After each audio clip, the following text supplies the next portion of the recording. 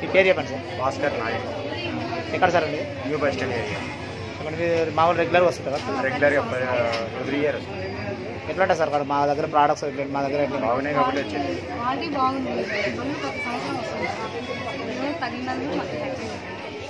మీరు ఎక్స్పెక్ట్ చేశారా ఎట్లా తగ్గుతుందని?